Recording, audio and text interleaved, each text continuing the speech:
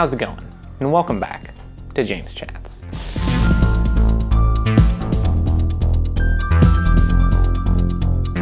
Now, I'm a full-time Twitch streamer and content creator, which means that I spend a tremendous amount of time at my computer and, by association, a tremendous amount of time sitting. To remedy this, I've been wanting to get a sit-stand desk, but it needs to work for streaming as well. It means it needs to hold multiple monitors, lights, cameras, microphones, you name it. It needs to be able to hold all of it while still having the sit-stand function. So I decided to build the ultimate sit-stand desk for Twitch streaming. There is a lot to talk about here, so I'm gonna do my best to try to break it down into categories. First, let's talk about the legs that make this whole thing possible. I chose to go with a frame that I found on Amazon from a company called AI Terminal. It is a dual motor frame that comes with memory functions, a 260 pound lifting capacity, a very reasonable $300 price point, and Arguably the most important part, a five year warranty that covers not only the frame, but the electronics and motors. Getting a frame by itself means that it is cheaper and it gives you the flexibility to use basically whatever tabletop you would like. And since I already had one, I didn't have to buy it. Speaking of which, let's move on to the tabletop. I'm using the 78 inch IKEA Linnmon.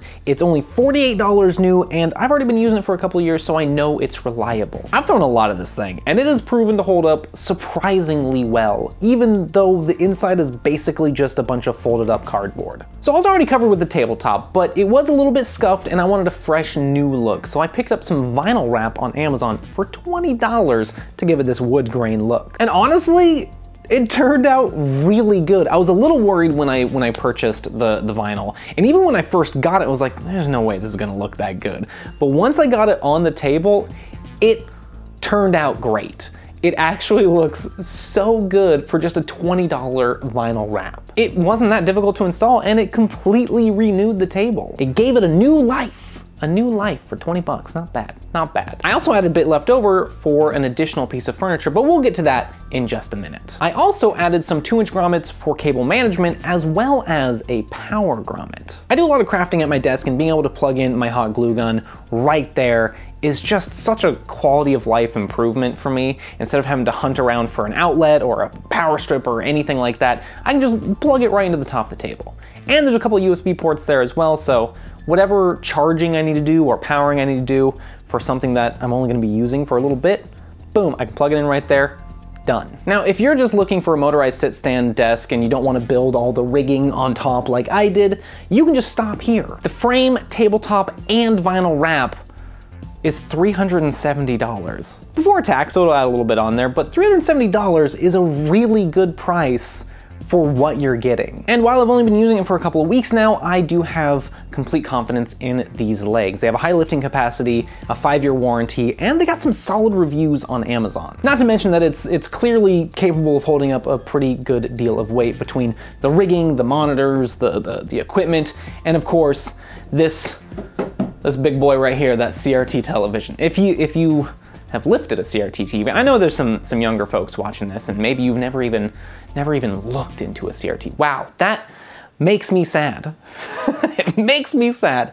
They're heavy, they're heavy, but to me, as someone who likes to play retro games, I feel like that is the ultimate way to experience them. I digress. Like I said, you can stop here, but I'm sure a lot of you watching this are wanting to know how I put together the rigging on top of the desk. And I must say, I am very proud of what I came up with. What you're looking at here is the SteelTek series from Lowe's. It's basically just steel conduit, but it's designed specifically for DIY furniture building. It's a little bit cheaper and a lot more flexible than the, the standard steel conduit that a lot of people have used for DIY furniture building in the past. It's, I mean, it's where they got the idea.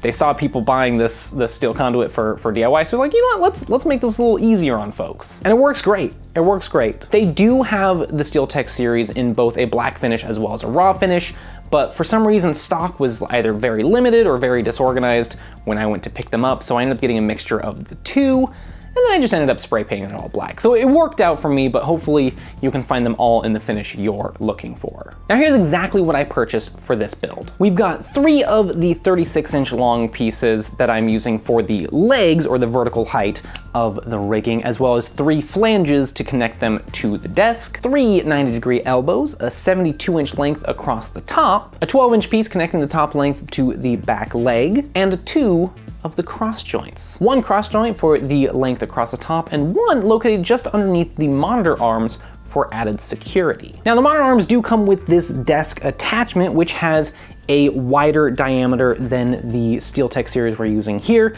This is more of like a, a one inch diameter where those are three quarter inch. And so it, it was a different sizing, but I was able to use a three quarter inch PVC coupler with a slit cut down the side using my Dremel as a shim. So I was able to make up the difference between the two and still tighten down the monitor arms onto the rigging. And the total cost for all of the SteelTek stuff that I used, the pipes and the fittings, came out to $100, which means that the final cost of the frame, the table, and the rigging up top came out to under $500. Not bad. Obviously that doesn't include things like my cameras, the super clamps, the lights, uh, the monitor arms, but all of that is really dependent on your setup. I won't go into too much detail about my equipment in this video right here, but uh, just know that I'm attaching all of it to the rigging using just super clamps with ball heads or, or magic arms. That's it. That's, that's the beauty of the rigging is that anything I need to attach to it, I can just get a super clamp and it's there. And it's there. That's why I wanted to do it. And I'm using a suspended China ball light and just a lamp for my primary lighting.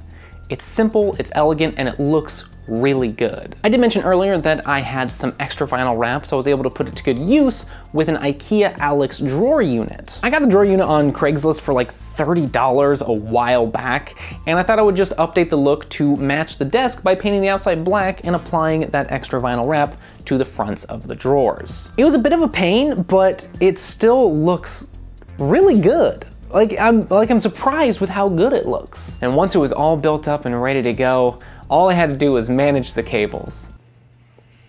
Took me two days. Two days! It was a beast. It was a journey.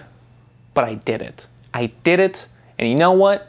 I did pretty darn good. Starting at the outlet, I got this little cover over it to protect it, and then I have two power strips coming out, one going off into this little conduit here, and one going into this cable management spine. This allows the cables to stay in one area while the desk lifts and lowers, and it makes it look really nice. I also have an ethernet cable going to my computer an HDMI cable going to an HDMI switcher, I'll show you that in a second, as well as an RCA cable going from my retro consoles up to the television. And then that one, like I said, is going through that little conduit into a cable management box.